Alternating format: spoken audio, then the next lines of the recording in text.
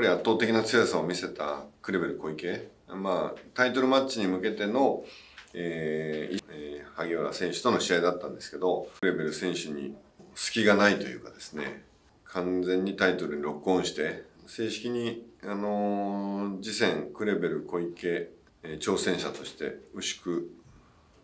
現王者に、えー、とのタイトルマッチを組みたいと思います。えー、今年の夏から秋にかけてタイトルマッチを、え、組ませていただこうとそう思ってます。まずはハワイに行って堀口教授の試合を観戦しながら今後ベラトールと日本での大会の開催あの打ち合わせと、えー、その、えー、ラスベガスに行って、えー、会も、えー、トレーニングに行ってるってことだったんで陣中見舞い兼ねてせっかくなんでサプライズを仕掛けてみた次第なんですが、えー、朝倉海にとってはすごく身のある、サプライズにを提供できたかなというふうに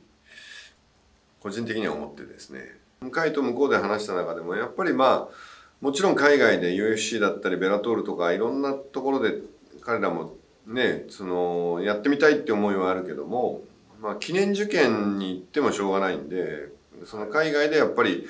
戦えるだけの実績と経験と技術とかスキルとかいろんなものをメンタルも含めて磨き上げた上でのことだと思ってるのでまあそういう意味で言うとまだまだやっぱり研鑽が必要だなっていうふうに会も思ったと思いますからもう海外を意識した中でレベルアップしていく時間が必要だと思いますしまずライジの中でしっかり実績を残す中で行くべきだろうなというふうに思いますし。